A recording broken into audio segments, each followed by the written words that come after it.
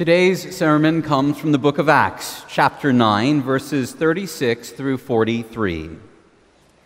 Now, in Joppa there was a disciple whose name was Tabitha, which in Greek is Dorcas. She was devoted to good works and acts of charity. At that time, she became ill and died. When they had washed her, they laid her in a room upstairs. Since Lydda was near Joppa, the disciples who heard that Peter was there sent two men to him with the request Please come to us without delay. So Peter got up and went with them, and when he arrived, they took him to the room upstairs. All the widows stood beside him, weeping and showing tunics and other clothing that Dorcas had made while she was with them. Peter put all of them outside, and then he knelt down and prayed. He turned to the body and said, Tabitha, get up. Then she opened her eyes, and seeing Peter, she sat up. He gave her his hand and helped her up. Then, calling the saints and widows, he showed her to be alive. This became known throughout Joppa, and many believed in the Lord. Meanwhile, he stayed in Joppa for some time with a certain Simon, a tanner. People of God, will you join with me in prayer?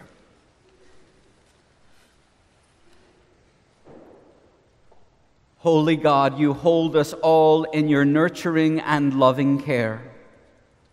On this day, when we remember the many mothers, the many women who have showed us what it means to be faithful and to cling to your goodness, open our hearts and our eyes to your scriptures this morning. May we see and learn from the example of Tabitha. May her story in some way be a part of our story. That we would see the needs in our community and that we would live and act to make your goodness known. Holy God, may these words and the meditations of all our hearts bring your goodness into being. We pray this in the name of Jesus, who guides us all in the ways of love and faithfulness and hope. Amen. Here is an unmistakable biblical truth women count in the eyes of God. Women's voices, actions, testimonies, and expressions of faith are significant. In this season of Easter, we've already relayed that it was the women who first saw the empty tomb and went running to tell the other disciples. It is more than noteworthy to observe that in the first century world, that the women didn't always have the trust of the populace. And so, when the Gospels put the good news of resurrection in women's mouths first, this is remarkable that it's they who tell this story of good news. You see, we've already remembered and celebrated this Easter season that passage from Luke 24 how uh, this, this group of women came and told a story of good news, and the men who heard it, they trusted their testimony. Peter's legs of faith sent him running to see what the women had said to be true. In today's passage, we come to yet another encounter between Peter and a group of women with a story that they must show and tell with heart and urgency and conviction. In today's story, Peter will encounter a group of widows. In the words of Willie Jennings of Yale Divinity School, widows are that group of people who, in the ancient world, were often made vulnerable by death's sting. End quote. Our text today comes to us from a first century society that rarely paid attention to the voices of women, and especially those like widows who had lost their social standing and voice in the social hierarchy. As an aside, we discover throughout the biblical narrative that God cares for those who are wrongly marginalized, those who are economically poor, and those whose power is robbed by those who flex their muscles by preying on people who are widows and orphans and foreigners.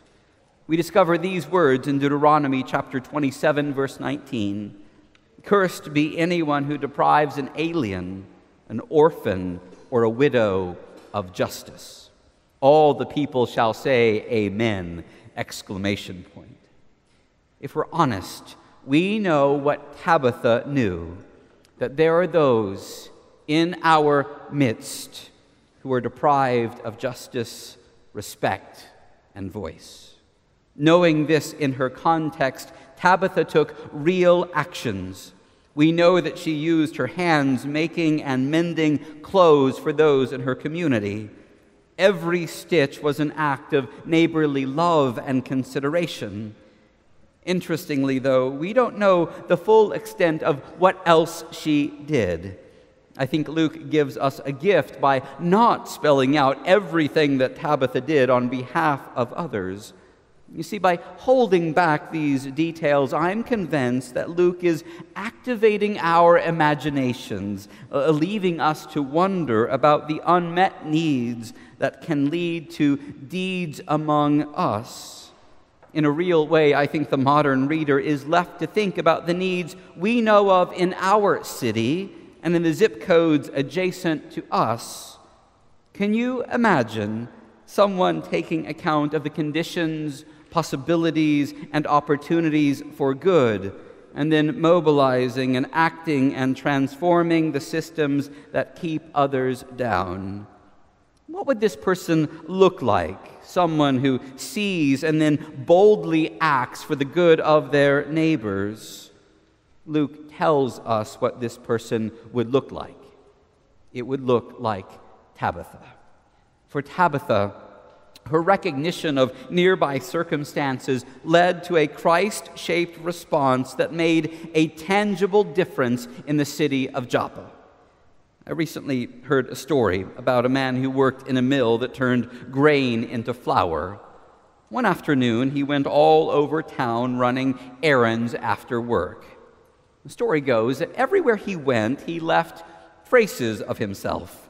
There were flour footprints and flour fingerprints, and by the end of the day, there was evidence of his presence all over town at the bank and at the post office at the store and at a neighbor's front porch and on the sidewalks that eventually led the man home.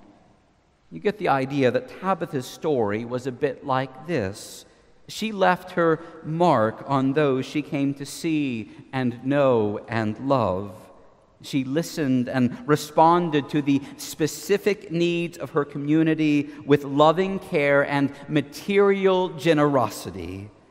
Tabitha's life encapsulates the acts of the church that continue to matter and mean something. Her story was one of self giving love for the sake of others.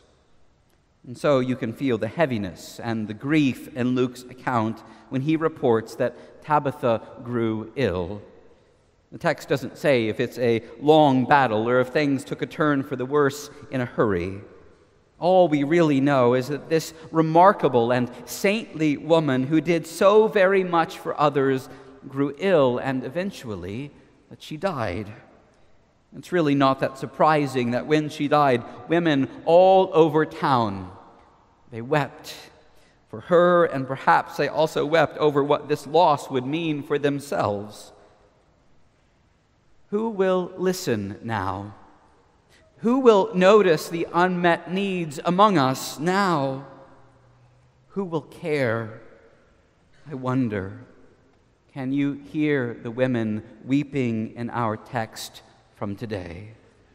And more practically, as a people of faith, can you hear the voices that are weeping in our day? Luke tells us that Tabitha's body was carried upstairs and it's from this upper room that the scene continues to develop. We learn that the women started gathering at Tabitha's bedside after she died. I guess you could say that they were paying their last respects. But what's so incredibly lovely to me is that these women come with the things that reminded them of Tabitha. Acts chapter 9, verse 39 records that the women are weeping and they're, they're showing the things that Tabitha had made. These women come with grief and emotion. They, they're showing up with tears in their eyes and they hold out their arms. She made this. She, she mended this. She stitched this for me. This makes me think of her. These garments are the photographs that they hold up for everyone else to see and to remember. These women are seemingly crowding the hallways and the stairway and overflowing into the front yard. They eventually gather together, stricken by the kind of pain that you only come to experience when you lose someone whose life is so intertwined with yours that you question how you'll be able to go on now that the person that you loved and who loved you is no longer here. We read in this account that after praying, Peter spoke to Tabitha, commanding her to get up, and astonishingly, she does. In the early church, resurrection life wasn't just something that Jesus' disciples witnessed, but we read here that there is something that they continued to be a part of that spoke and made sense of resurrection life. Now, to be sure, this is a story of resurrection life and hope after death. Through and through, this is an Easter account, and I'll remind you, we're still in this wonderful season when we celebrate Easter as the church together. Tabitha's story in Acts chapter 9, though, is undoubtedly an unusual one. This isn't the way most death scenes play out, even in Scripture. This is not typical. It defies our experience and our ability to fathom or explain. The best that I can do is relay that there was something about this loss and the prayers of grief that shook the very throne room of God. In this exceptional account, divinity roars back, and Tabitha's very life is rekindled. I don't know about you, but I can almost picture all of these women, mouths agape, crowding and rushing back into that upstairs room to see and to speak with their friend again. I can see them still carrying and clutching clothes in their hands. Undoubtedly, the high point of the story is when Tabitha gets up. And yet, it's the rest of that story that presses and lingers in my imagination.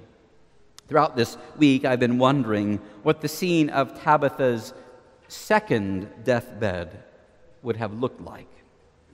At least in my imagination, I can envision the scene of her second deathbed looking a little bit like her first, surrounded by friends who were now again grieving the loss of a woman that had meant so very much to them.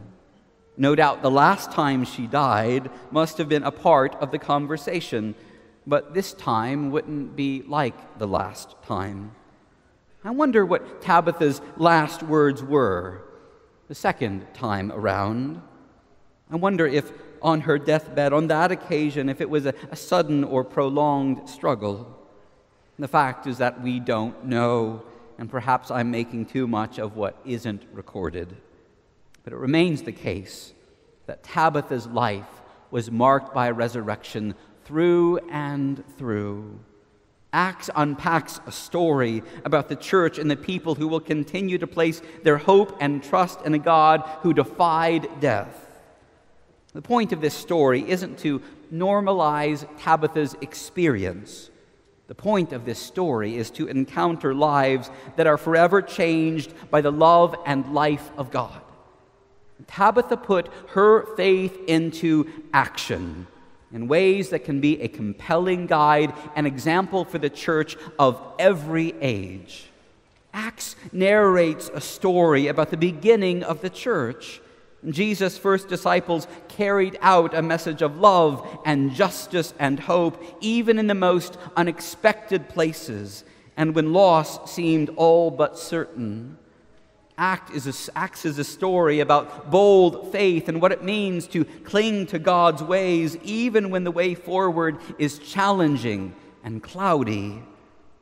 On this weekend, when we remember the mothers who have made a positive difference in our lives, we also do our best to look to those who have shown us stories of hope and sacrifice and compassion in ways that bring health and transformation into our common lives. I don't know who is coming to your mind today, who you're remembering and celebrating, or who you're looking to to guide your faithful actions in our common world. It makes sense, though, on this day that we look to Tabitha to remember her story and to think about what it means for us to all follow in the footsteps of this wonderful woman. Tabitha reminds us to work for good, to listen to those who are hurting, and to do all that you possibly can to make our communities a place where all are loved, respected, recognized, and cared for. Tabitha teaches us something about living hope making a tangible difference in the world. And that's what Easter is all about.